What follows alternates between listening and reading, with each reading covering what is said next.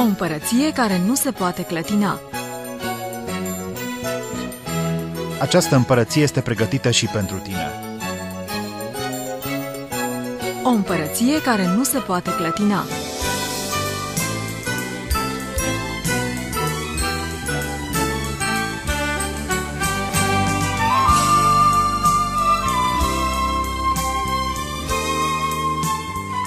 Vă invităm în continuare să ascultați o predică cu un nume frumos și anume Robii Domnului. Ștefan Lepădat va vorbi despre aceasta din Cartea Faptele Apostolilor, capitolul 4, versetul 29 până la 31.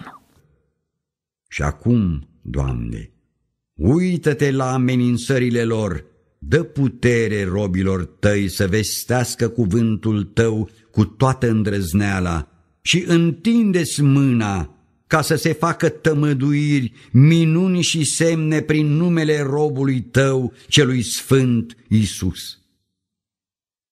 După ce s-au rugat ei, s-a cutremurat locul unde erau adunați. Toți s-au umplut de Duhul Sfânt și vesteau cuvântul lui Dumnezeu cu îndrăzneală. Îmi place așa de mult ce spune psalmistul în uh, Psalmul 24. Spune așa, porți, ridicați-vă capetele, ridicați-vă porți veșnice, ca să intre împăratul slavei. Cine este acest împărat al slavei? Domnul cel tare și puternic, Domnul cel vitează în lupte. Porți, ridicați-vă capetele, porți veșnice, ca să intre împăratul slavei. Cine este acest împărat al slavei?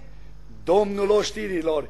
El este împăratul slavei, mărit să fie Domnul. Ridicați-vă barierile ca să intre împăratul slavei. Ridicați orice barieră ca să intre Duhul Sfânt. Dați la o parte orice bariere ca să coboare cerul peste noi. Ridicați-vă porți veșnice ca să intre împăratul slavei. Trăiască Domnul! Trăiască împăratul slavei! Mă rog ca Duhul Sfânt să cerceteze biserica, Duhul Sfânt să se ocupe de noi. Noi suntem o biserică vie, noi suntem o biserică reală, avem un Dumnezeu care trăiește, avem un Dumnezeu care este viu în vecii vecilor. La Dumnezeul meu când mă rog, El aude, glorie Lui, avem un Dumnezeu extraordinar. Mă bucur să știu că sunt familia Lui. Nu te teme, nu te teme, eu te izbăvesc. Nu te teme, Domnul merge înaintea ta. Nu te teme de nimic.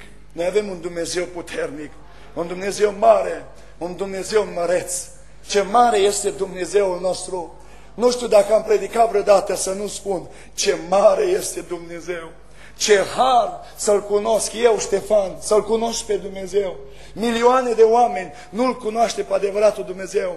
Milioane de oameni să închină la o păpușă, să închină la un idol, să închină la ceva de tablă, să închină la o vacă, să închină la un stâlp. Și eu, Ștefan Nălipova, Dumnezeu din cer, s-a coborât și m-a cercetat și a spus, Ștefane, eu sunt cel care am făcut pământul, eu sunt cel care te-am întemeiat pe tine, eu sunt alfa și omega, începutul și sfârșitul, fără mine nu se poate. Și a spus, Doamne, ia-mă în familia ta și ne-a luat Dumnezeu pe toți în familia Lui, pentru că te-a luat în familia Lui. Ce har, ce bucurie când vom pleca de aici, ce bucurie va fi în cer când toți împreună o să fim plini de bucurie. Ce har măreț!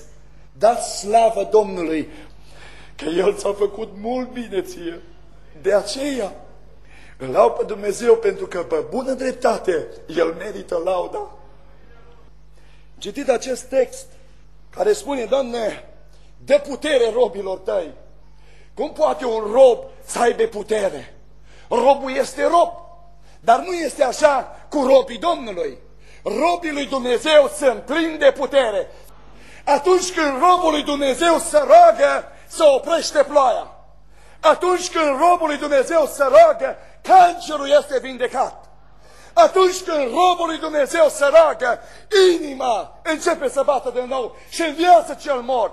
Pentru că avem prezența lui Dumnezeu în noi. Avem Duhul lui Dumnezeu în noi. Ce este rugăciunea? Pentru cineva să se roage, mai întâi trebuie să dorească să se roagă. N-ai cum să te rogi, omule drag, dacă nu-ți place să te rogi. Mi-aduc aminte când eram copii mici și tata venea dimineața și ne dădea semnalul, primul semnal. Copii, haideți la adunare. Rupți de fotbal, unde să te scoli? Al doilea semnal, copii, veniți la adunare. E timpul să plecăm, nimic. A treia oară numai, gata. Și mergeam la adunare și nu-mi plăcea rugăciunea. Ce să mă rog? Că parcă mă rugam numai eu, eu cu eu. Am, am un copil mai mic și a fost puțin bolnav. Și soacra mea zice, Nathan, hai să mulțumim în Dumnezeu că te-a vindecat. Și el spune, pe eu tot timpul îi mulțumesc, dar eu niciodată nu zice cu plăcere. Este învățat și suntem învățați în rugăciune ca să primim răspuns.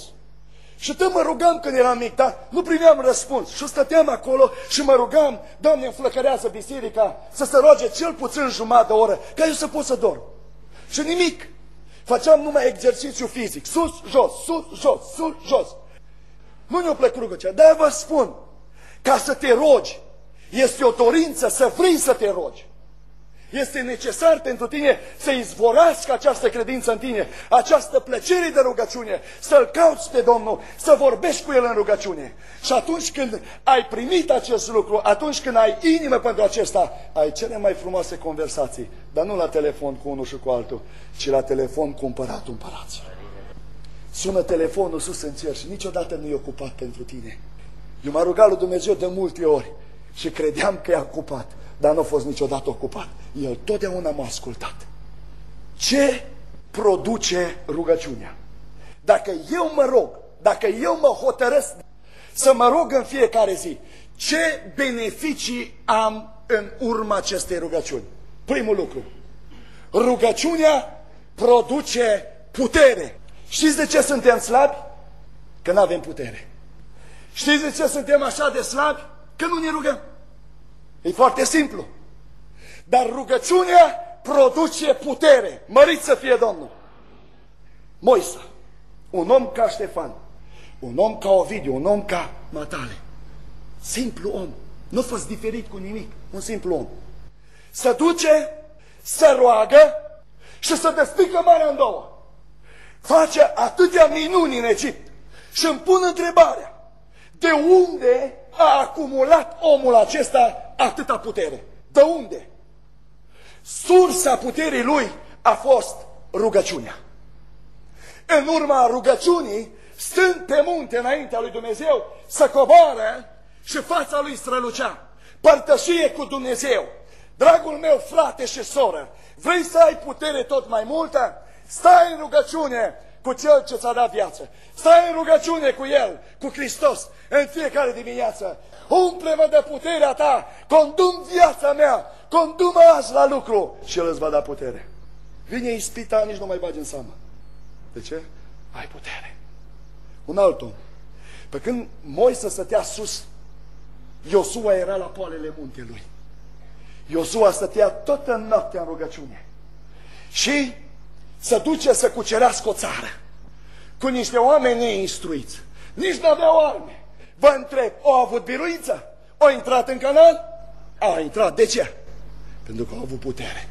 Sursa puterii este în rugăciune. Domnul Iisus n-a umblat pe mare înainte să se roage. Dar câți dintre noi nu vrem să umblăm pe mare fără să ne rugăm? Apoi, David este uns ca împărat la o vârstă mică. Putea David să spună, știi ce? Nu o să se mai împlinească nimic. Ăsta vrea să mă omoare, dezamăgit. Cum suntem noi, mulți dintre noi. Vedem că nu ne-a răspuns Domnul într-o lună, gata, totul s-a sfârșit, nu mai are rost. David nu a fost așa. Știți de ce? Pentru că David a avut părtășie cu Dumnezeu și a avut putere de la Dumnezeu, că a stat în părtășie cu Dumnezeu. Ilie, un om ca Matale și ca mine, Ilie, stă să roagă și coboară foc din cer. Ce har, ce putere! De unde a acumulat omul ăsta atâta putere? Sursa lui Ilie a fost rugăciunea. Doamne, dă-ne putere să stăm în rugăciune tot mai mult. Domnul Isus a fost un om a rugăciunii. El s-a rugat. Oamenii, după ce s-a rugat dimineața, și ieșea la evangelizare, oamenii mărturiseau și spuneau, din el iasă putere, să vede că iasă putere. Există putere. Mă, de ce, de ce tot merezi după el? De ce? De ce merezi după el? Ce căutați atâta la omul ăsta? Ei, zice, el ne vorbește cu putere. De ce? Sursa puterii Domnului Isus a fost împărtășie directă cu Tatăl. S-a umplut înainte să meargă și să se roage pentru bolnavi. Ești pregătit ca biserica ta să vadă o transformare încât vecinitatea și oamenii din lumea aceasta să spună, da, am auzit, există acolo un foc puternic, există acolo o putere divină care vine peste frații aia. De ce? Pentru că sursa lor este rugăciunea și când se roagă frații, coboară putere de sus. Ești gata să schimbi lucrul acesta în biserica ta? Ești gata să primești darul Duhului Sfânt? Puterea Duhului Sfânt? Ești pregătit? Doamne ajută-ne era un om al lui Dumnezeu, Charles Finis, care trecea cu trenul. Obișnuia să se roage pentru fiecare sat când mergea cu trenul. Noi dormim când mergem cu trenul.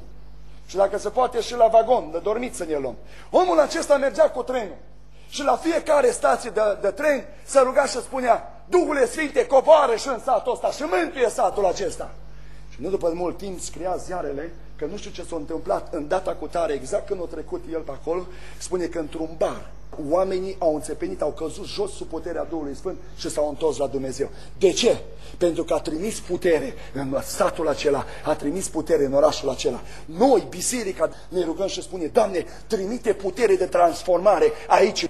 Intră prin baruri, Doamne, și convertește oamenii și fă să vină la pocăință.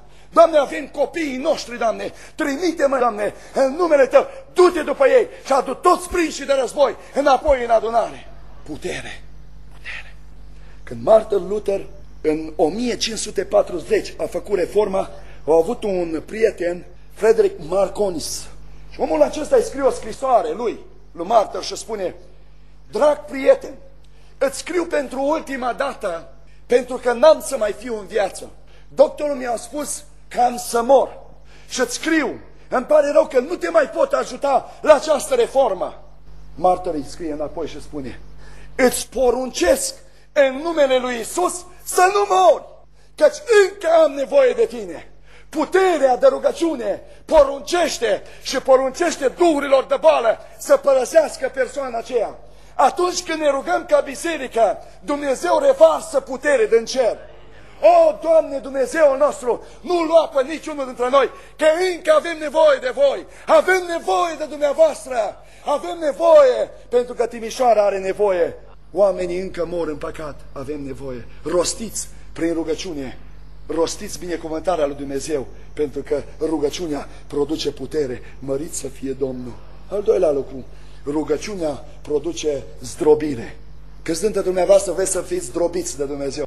Vreau să vă spun că Dumnezeu nu poate folosi nicio persoană care nu a fost zdrobită.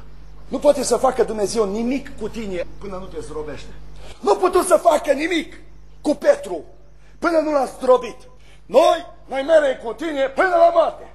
Domnul Iisus se spune, Petre, tu încă nu te-ai lepădat.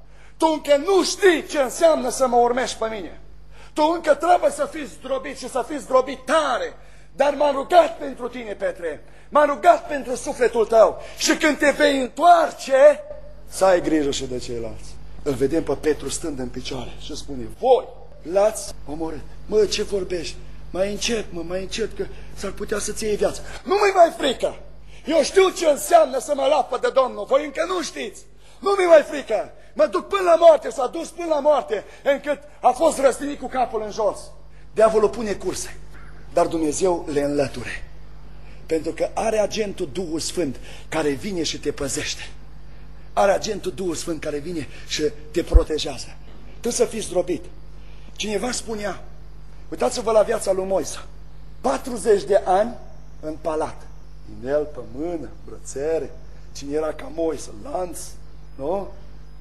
Baron mare, șef mare, patron mare, nu?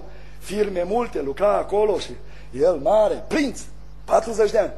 Apoi, ca Dumnezeu să lucreze cu Moisa, l-a dus 40 de ani în pustie. Fiecare an de palat, un an de pustie. Egal. Să nu se supere anul ăsta cu anul ăla, nu? E da. Și a tinerilor, da. Voi încă vi în palat acum.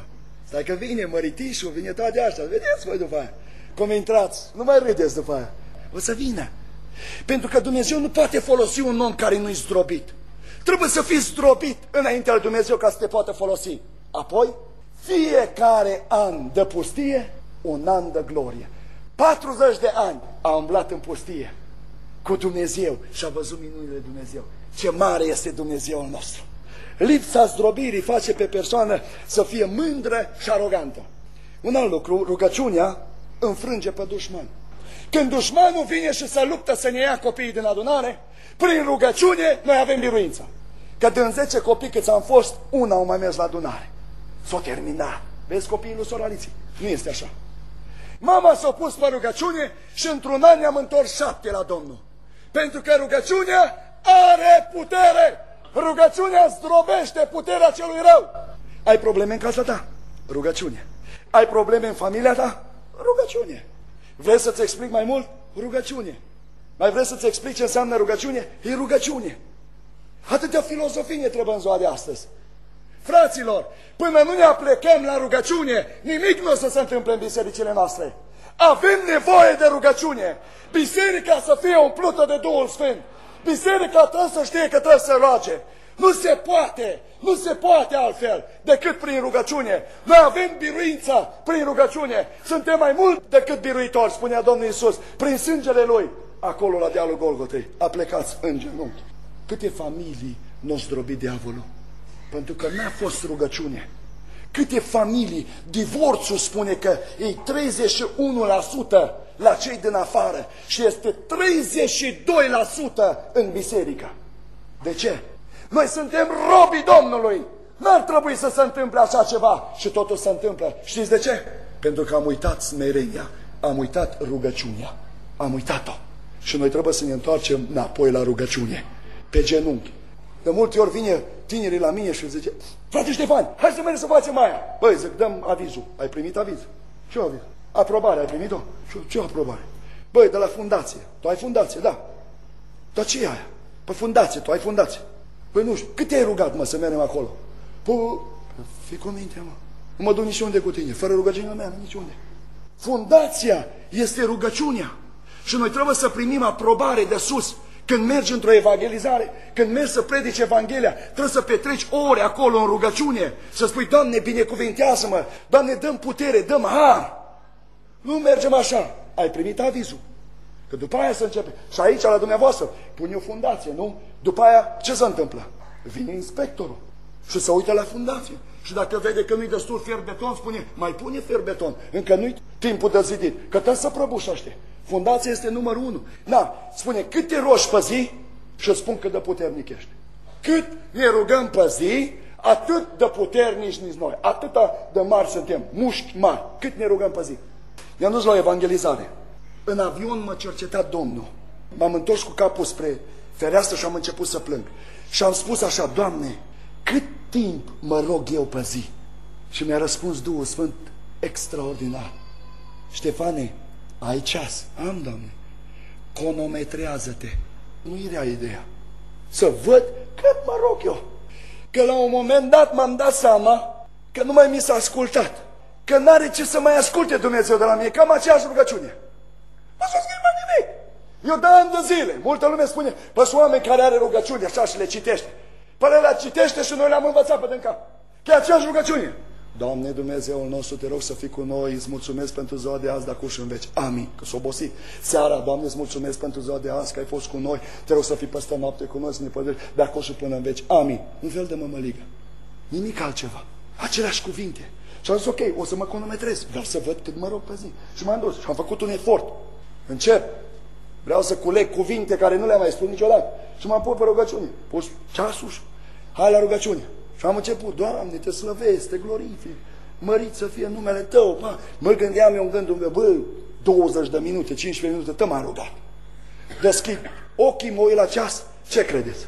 Nici 3 minute, 3 minute și Cu efort. Vreau să vă spun că același lucru este la dumneavoastră. Conometrați-vă, fraților, să vedeți că nu vă rugați mai mult de trei minute. Și vrem vindecări. Vrem eliberări. Vrem oamenii să se mântuie cu trei minute de rugăciune. Cât te rogi pe zi ca să zdrobești puterea celui rău? Am început din ziua aia să mă rog și am, am zis lui Dumnezeu, Doamne, am să încep să mă rog o oră pe zi, jumate dimineața, jumătate seara și am început să mă rog. Știți ce s-a întâmplat în ziua aceea? S-a început programul la ora 6 după masa și s-a terminat la ora 4 dimineața. Și sâmbătă seara am început programul la ora 6, s-a terminat la ora 3 dimineața. Și duminică seara am început programul la ora 6 și s-a terminat la ora 5 dimineața. Și acolo era un băiat care era posedat și l-a lovit pe unul la gură. Și am început să ne rugăm pentru el că a venit puterea lui Dumnezeu și a fost eliberat. Apoi, rugăciunea produce vindecare. Ați fost vindecați în urma rugăciunii? Ce-au făcut să primiți această vindecare fără rugăciunea? Rugăciunea produce vindecare. Avem nevoie să fim vindecați. Și prin rugăciune noi putem să fim vindecați. Pentru că Dumnezeu ascultă rugăciunea. De ce ne rugăm pentru bolnav? Și bolnavul pleacă tot bolnav și pune vina tot pe el săracul, că nu are credință, dar aia nu s-a vindecat. Dar unde scrie lucrul acesta? Că trebuie neapărat bolnavul să aibă credință. Slujitorii care sunt aici, care au ales Dumnezeu, pe ei, Dumnezeu a investit putere în ei. Și este nevoie să vă rugați totdeauna pentru ei și spui, Doamne, Dă putere robilor tăi, ungele mâinile, ungele buzele, Doamne, și la rugăciune să primesc vindecare. Ne rugăm pentru bolnav și bolnavul săracul tău bolnav pleacă. De ce? Pentru că suntem slabi în rugăciune și nu avem credință. Apoi, rugăciunea aduce Duhul Sfânt. Vreți puterea Duhului Sfânt? Cum îl primim? Prin rugăciune. Ascultați, vine o femeie și spune, ascultă, rogul-te frumos, bărbatul meu a murit și am o datorie. A venit omul acesta și vrea să-mi ia amândoi copii. Rogul-te, fă ceva și pentru mine. Spune Elisei, ce ai în casă? Am un vas cu un de lemn. Bun. Spune copiilor să se ducă. Și să aducă vase. Și să aducă vase cât? Multe, nu puține, multe vase. Aduceți-le.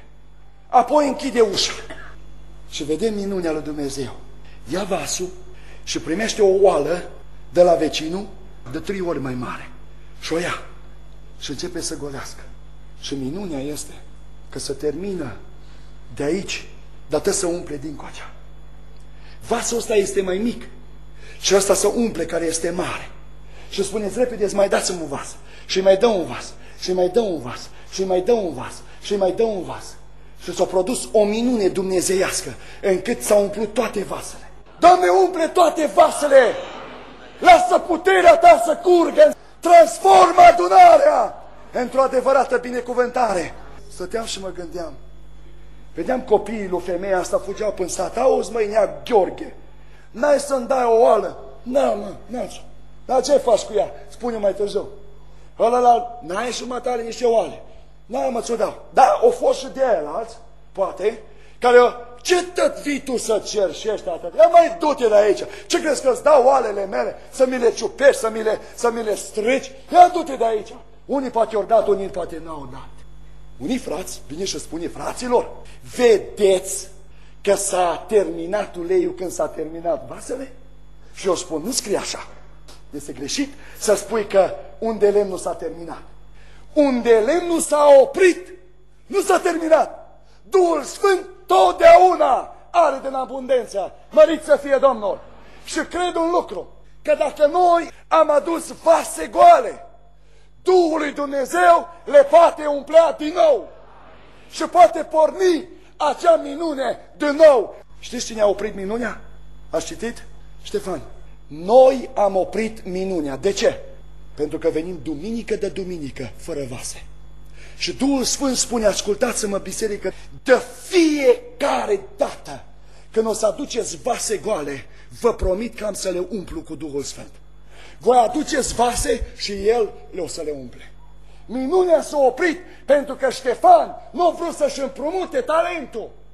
Pentru că Dumnezeu a vrut să te le folosească prin vocea ta prin cântarea ta, Dumnezeu a vrut să te folosească și n-ai vrut să împrumuți darul tău și gura ta pentru Dumnezeu. Ai oprit minunea. Și Dumnezeu a pregătit un suflet și a spus să-l aduc, pentru că prin cântarea ta vreau să-l întorc. Ce era dacă nu cântai, nu mă mai inspirai cu absolut nimic, dar pentru că ai cântat, m-ai inspirat și mi-ai dat putere de nou. Să mă încred în Dumnezeu și să ne încredem în Dumnezeu. De câte ori am oprit minunile lui Dumnezeu, de câte ori oprim minunile lui Dumnezeu, pentru că nu aducem vase goale, pentru că nu avem timp de cei pierduți din lume și să-i aducem în adunare. Nu avem timp. Mă rog ca Duhul lui Dumnezeu să ne transforme pe fiecare. Nu să spuneți amin, doar amin. Eu vă spun foarte serios. Duhul lui Dumnezeu să vă transforme. Să fiți adevărați eroi pentru împărăția lui Dumnezeu. Dumnezeu nu are nevoie să vii să-ți ocupi locul aici, să stai să asculți numai. Dumnezeu a avut nevoie să fii cu vecina ta aici. Îți cunoști vecinii, îți cunoști colegii de bancă. Care ți-e menirea ta în locul acesta? Ascultați, Zaharia, capitolul 4. Să produce o vedenie.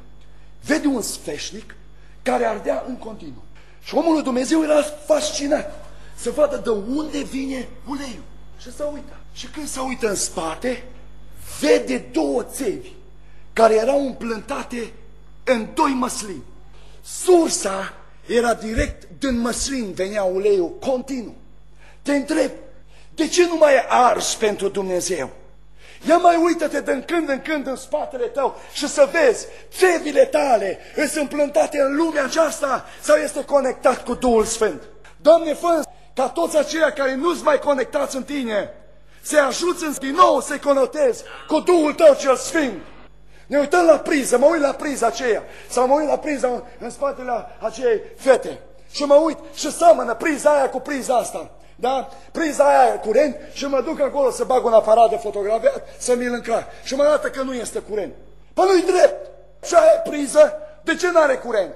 De ce nu are curent priza aia? Că e tot priză. De ce nu are priza? Pentru că priza aia i-a sărit siguranța. De mult, prea mult am pus pe ea și-o sărit.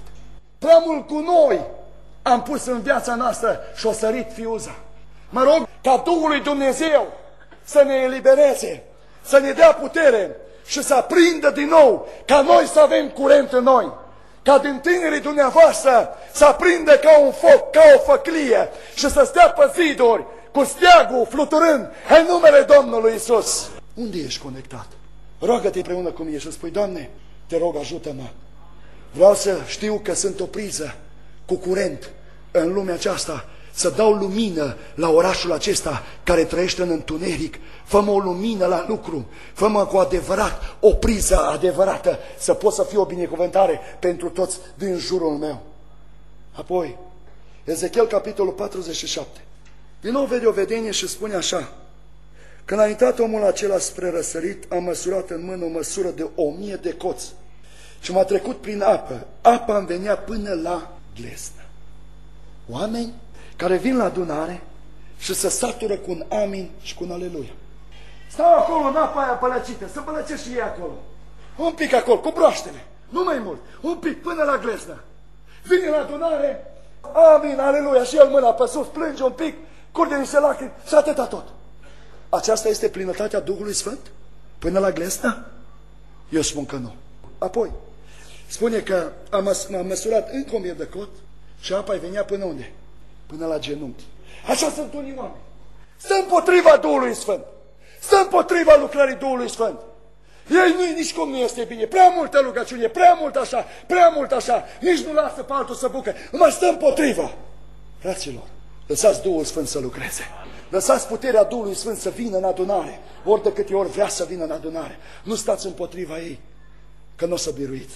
Apoi spune că am măsurat încă o mie de coți și apa venea până la șolduri. Apostolul Pavel vine și spune așa, râvniți și după darurile Duhului Sfânt. Apoi spune că am măsurat încă o mie de coți. Venit o apă pe care eu n-am mai putut să o not. Aceasta este plinătatea Duhului Sfânt. Să noți cu El. Să lași Duhul Sfânt să te poarte. Așa vrea Duhul Sfânt să nu te mai zbați, că nu o să poți. Lasă-te purtat de Duhul Sfânt. Lasă-te purtat de El. El vrea să te poarte pe ape. El vrea să te poarte la liman. El vrea să te ducă la binecuvântare. Ați ascultat predica intitulată Robii Domnului cu Ștefan Lepădat. Vă invităm în continuare să rămâneți cu Radio Vocea Evangheliei. Până la o nouă emisiune, vă dorim toate cele bune! O împărăție care nu se poate clătina. Această împărăție este pregătită și pentru tine. O împărăție care nu se poate clătina.